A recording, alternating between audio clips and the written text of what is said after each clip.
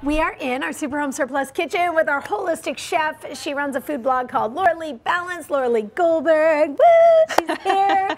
she always makes eating healthy fun, and today is no exception. But what does holistic chef really mean? So it really just means that health is equally important in every other aspect of your life aside from food.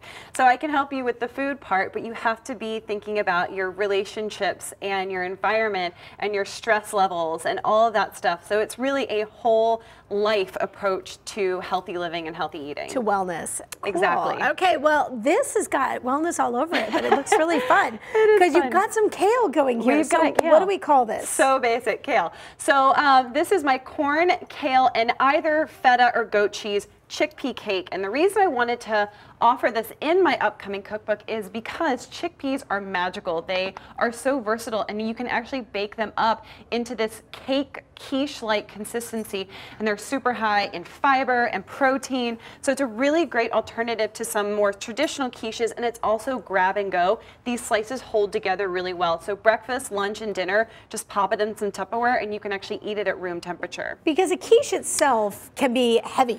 A lot of cream, Yes. a lot of eggs. And there's a place for that, and that's a wonderful thing. But for something that's a more regular in your rotation, this is a really nice light alternative. It's also very versatile. You can switch out the cheese, you can add some sausage, you can add different vegetables, whatever you want. Whatever you have, Um, as long as you do the base. yes. Okay, so let's see. You have some um, kale. Yep. That you just kind of rough cut. Two cups of shredded kale and five cloves of garlic because we're not afraid of garlic. Oh my gosh, it and smells yeah, we cooked it up in some olive oil, so that is ready to go. Okay. It's nice.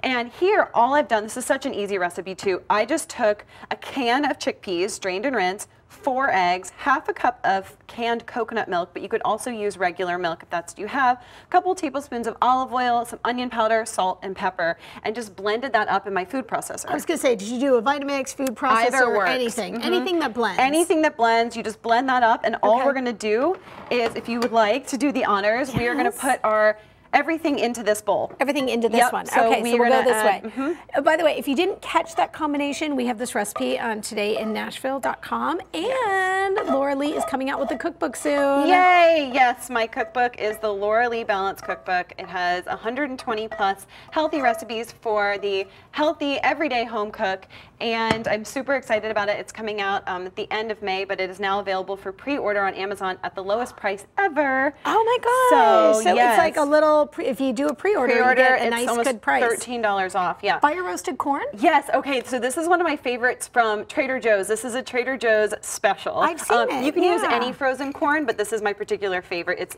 delicious. And that's half of a cup. And then we're gonna do half of a cup of feta cheese. You could use goat cheese, you could use cheddar, really whatever you want works. Feta just reminds me of spring. I know, You well, know, I did think this was a good kind of springy recipe. Right. So. Now that um, fire roasted corn is in the freezer section Yep. at Trader Joe's, It's and it just gives it a little extra zing. Just a little something. Okay. A little something. Okay, you are using a springform pan. Yes, Which to me all of a sudden goes scary. "Ah." I know, so scary, but it's not. It's so simple. You just, you basically just plop that sucker together and pour everything in here, and we're Okay. gonna bake it at 350 degrees for 45 minutes. However, if all you have is a cast iron pan, you can use that too. I wouldn't use a regular skillet, something non-stick, but a cast iron pan would be great. Okay. Very Okay. rustic. Yes. Um, so I will. I'll do. I'll do this. Yes, I'll, please. I'll pour this in, and it's going to be in a e- e- thin, it. even layer.